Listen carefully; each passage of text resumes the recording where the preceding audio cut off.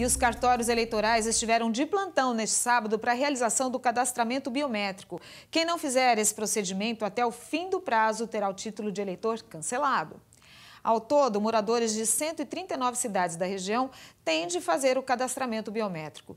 Os prazos variam dependendo do município. Em Araçatuba e Presidente Prudente, duas das três principais cidades das regiões Oeste e Noroeste Paulista, o prazo termina no dia 19 de dezembro.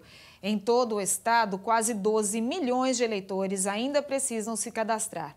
Para isso, basta fazer o eleitor fazer aí o agendamento pelo site www www.tre-sp.gov.br. Marcar a data e horário e ir até o cartório da sua cidade.